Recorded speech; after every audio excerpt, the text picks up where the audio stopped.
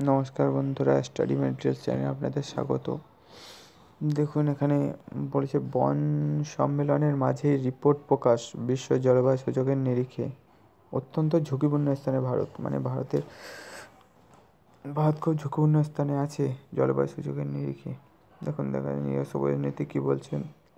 কলকাতা, বিশ্ব উন্নয়ন আবহাওয়া জলবায়ুর পরিবর্তনে অত্যন্ত খারাপ প্রভাব পড়তে পারে ভারতের উপর।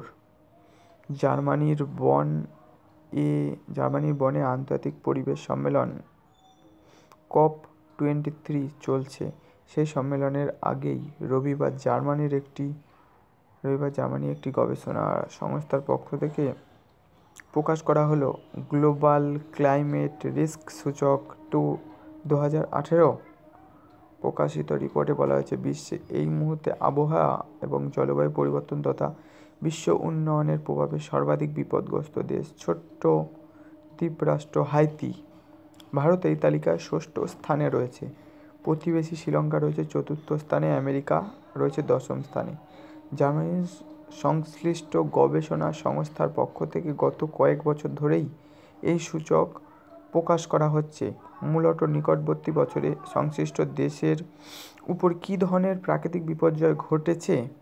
সেই দেশের আবহাওয়ার কোনো পরিবর্তন ঘটেছে কি না? এবং গত অন্তত পনেরো থেকে কুড়ি বছর, বছরে সেই দেশে বিশ্ব উষ্ণায়নের কী প্রভাব পড়েছে তা বিশ্লেষণ করেই এ সুযোগ তৈরি করা হয়।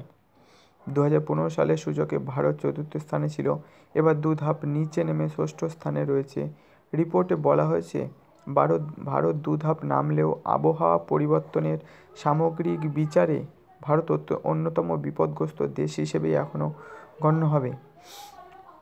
নতুন রিপোর্ট অনুযায়ী দু হাজার ষোলোর ক্লাইমেট রিস্ক সূচকে প্রথম দশে রয়েছে যথাক্রমে Haiti, Zimbabwe, Fiji, Sri Lanka, Vietnam, Bharat, Bolivia sorry Bharat, Chinese, Taipei, Republic of Macedonia, Bolivia ও মার্কিন যুক্তরাষ্ট্র। অন্যদিকে রিপোর্টে উনিশশো সাতানব্বই থেকে দু হাজার ষোলোর মধ্যে আবহাওয়া পরিবর্তনের নিরিখে ক্লাইমেট রিস্ক সূচকও প্রকাশ করা হয়েছে। তাতে প্রথম দশে রয়েছে যথাক্রমে Honduras, Haiti, Myanmar, Nicaragua, Philippines, Bangladesh, Pakistan, Vietnam, Thailand এবং ডোমিনিকান রিপাবলিক। নতুন বিশ্লেষণ অনুযায়ী অনুন্নত দেশই আবহাওয়া পরিবর্তনে সর্বাধিক ক্ষতিগ্রস্ত হয়েছে সেই সঙ্গে দুই সূচক তালিকায় প্রথম দশ প্রথম দশে স্থান করে নিয়েছে ভারতীয় উপমহাদেশের চারটি দেশ। ভারত ছাড়াও এই তালিকায় বাংলাদেশ, শ্রীলঙ্কা, পাকিস্তান রয়েছে। তবে শুধু ভারতীয় উপমহাদেশ দেখলে ভুল হবে।